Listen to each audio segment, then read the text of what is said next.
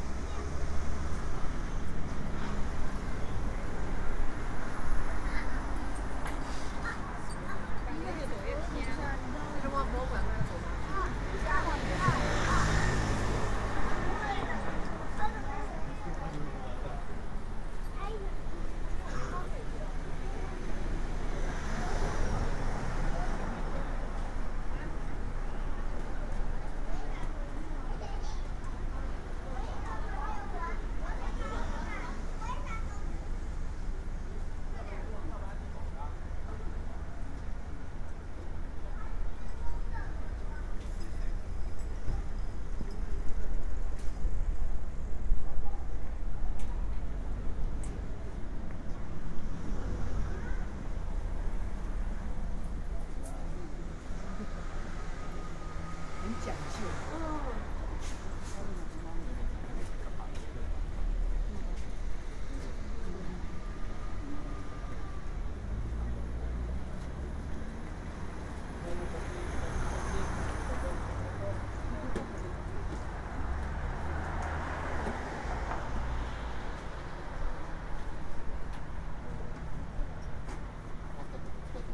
ha ha.